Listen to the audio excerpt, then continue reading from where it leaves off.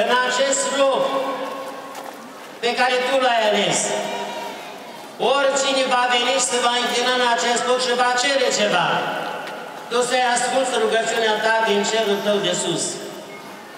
Tu să-L binecuvintezi pentru orice va cere omul și va avea nevoie. Tu să-L asculți și să-L auzi de sus din cer.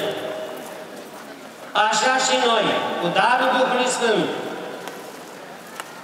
cu binecuvântarea Maicii Domnului, care este stăpâna locului, am venit să desăvârșim această lucrare sfântă, care este Sfințirea Bisericii, ca oricine va veni să se roage, Dumnezeu să împlinească dorința prin mijlocirile Maicii Domnului. Din momentul de față, Biserica a primit de la Mântuitorul un înger păzitor care va sta la ușă. Va primi și va scrie pe tot închinătorul care va intra în biserică și va ieși. Va scrie pe acel care va aduce vreun dar la biserică închinat Maicii Domnului. Va scrie pe acel care se va ruga și cu acel povenic pe care îl face omul se va prezenta la Maica Domnului și Maica Domnului se va prezenta la Mântuitorul. Cu acele nume scrise în pomenic și pentru cerința lor. Iată, iubiți credincioși, ce însemnătate are Sfințirea Bisericii. Este desăvârșirea supremă a acestui loc care este închinat lui Dumnezeu și Maicii Domnului. Pentru asta, iubiți credincioși, vedem această minune, cum am spus la început, nu la voia întâmplării. S-a întâmplat să fie și pătimirile care au fost. Și temnițele cele grele purtate din părinții care au fost aici în frunte cu preasfințite vloghii. Nu a fost la voia întâmplării. A fost ca să vedeți dumneavoastră că din celul, dintr-o celulă mică s-a făcut această catedrală minunată și aceste chilii frumoase în acest loc, în București, în capitala țării. Suntem datori să mulțumim lui Dumnezeu, pentru că atunci, în 90, când s-a dat libertatea începând din 89 prin Revoluții, pe atunci Părintele Flavianu a luat binecuvântare de la regretatul Mitropolit Silvestru, a venit și a început să vadă, să tatoneze problemele locului, dacă îl poate recupera. Și într-adevăr, Maica Domnului a ajutat, a recuperat terenul și a făcut început de versurile pentru ca să poată să înceapă Marea Biserică pe care o vedeți. Și biserica s-a făcut încet, dar s-a făcut cu gust, s-a făcut așa după rânduielile și după legile arhitectonice. După cum ați văzut picturile, sunt pictate de mare profesor Popescu. Dacă este aici, noi îi mulțumim pe această care, și dacă nu este, tot îi mulțumim pentru opera de artă pe care a lăsat-o cu penelul domnii sale pe pereții catedrale. Osteneala nu este numai a părinților. În primul rând este a lucrat simțită prin organizare, după asta este a părinților din mănăstire și în restul este a dumneavoastră a tuturor. A cei care v-ați ostenit, a cei care ați dat un ban, mic sau mare, a cei care ați venit de departe sau de aproape și ați vizitat această Sfântă Mănăstire și ați lăsat un ban pentru ca să se poată finaliza lucrările. Iată, am ajuns la această bucurie să o îmbrăcăm în haine de mireasă să o prezentăm Maicii Domnului, Sfântă, curată și neprihănită. Aceasta este lucrarea dreptii celui preanalt.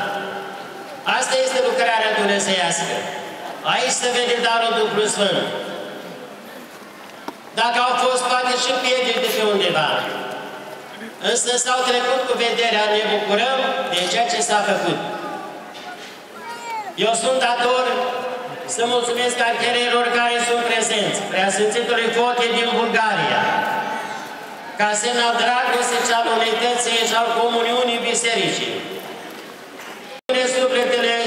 izbăvindu-ne din ghearele morții cele veșnice și din ghearele diavolului, care nu caută niciodată pacea, nu caută niciodată liniștea sufletească a noastră a oamenilor, și caută turburări, caută nemulțumiri, caută lucrurile pe care să ducă la dezbinare, să ducă la turburare și la moarte veșnică.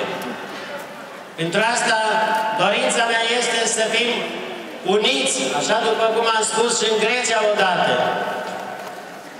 Bisericile noastre din Grecia, din Bulgaria și din Rusia să fie unite ca într-un fir, ca o funie împletită în patru, care va fi puternică. Nu poate corabia sau valurile care poartă corabia să o rupă de la țară. Pentru că este foarte bine ancorată în legile cele dumnezeiești ale Sfinților Părinți, acelor șapte sinoade ecumenice, de unde nu poate nimeni să ne sfintească, să ne rupă.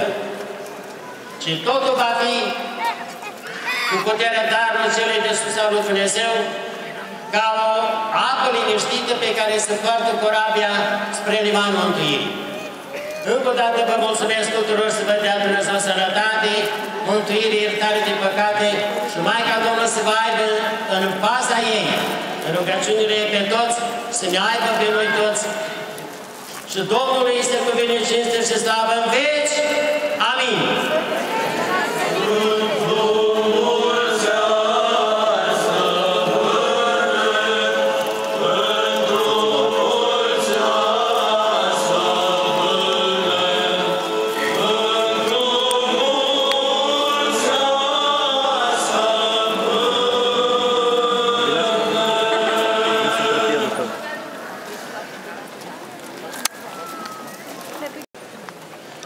Împărtășesc aceeași fire în al preasfințitului, aceeași stare emotivă, care aș putea să spun că este unica în viață.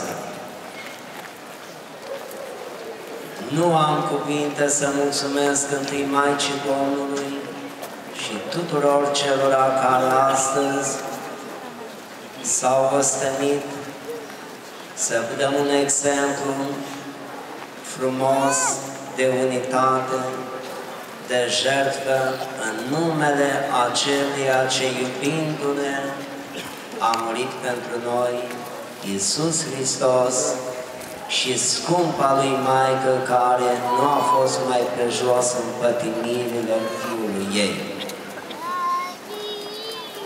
Cum spunea Sfântul Apostol Pavel, sămânța care are Duh de viață, dacă nu moare în pământ, ea nu poate obrăzni.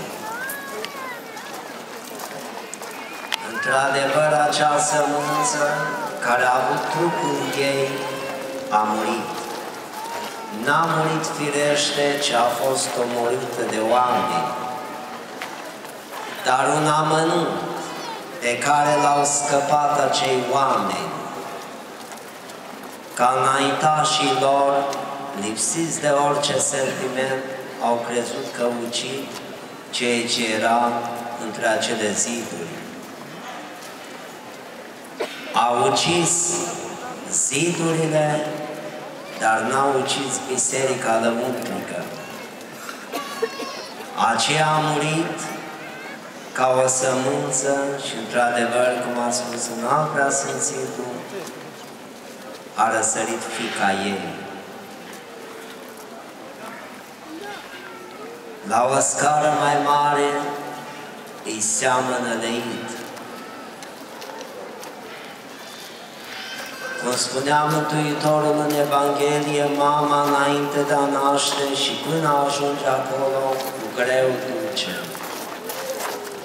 Trece prin greutatea morții, dar toate se uită în momentul când aude glasul a ceea ce a purtat. Îmi aduc aminte odată când am presimțit-o Silvestru, când în al presimțit-o actual, la Asie, la Sfânta Liturghie, atât de frumos a zis odată, Doamne, Doamne, caută din cer. Și am zis în alt prea simțite, parcă merită toată durerea și osteneala numai pentru momentul acesta atât de frumos. Și mi-a răspuns pe măsură, așa este. Spunea înțeleptul Solomon, tinere de vrei să slujești Domnului, pregătește-te de ispită. Cu toți am început cândva acest drum. Cu aceeași râvnă am mers fiecare ca să ne mântuim și să știm că facem ceva în viață. Multe face omul, dar cred că atunci când lucrezi pentru Dumnezeu și sub ascultare, este nobleța lucrurilor. Am o nețărmurită mulțumire că am fost înțeles și întotdeauna m-am înconjurat în al preasfințiții și ceilalți consulitori cu dragoste, cu prietenie, cu încurajare. Cred că merită nu numai o osteneală trupească, ci și cu sânge putem semna frumusețile care le facem în numele aceluia ce am murit pentru noi, pentru nobilul sentiment că ne-a iubit. Iubiți credincioși, multe face omul în viață, dar să învățați să lucrați în numele Dumnezeului, celui atotputernic făcătorul cerului și a pământului. Împărăteasa a avut grijă și de această superbă zi de toamnă. Cred, cum spunea și în alt preasfințitul, nu mai avem nevoie de minuni. Iubiți-L pe Dumnezeu și lucrați în numele Lui și multă fericire vă va stăpâni. Veți umple toată ființa, ceea ce avem nevoie. Încă o dată mulțumesc în al preasfințitului, preasfințiților de peste hotare, cei care sunt din țară, preoților,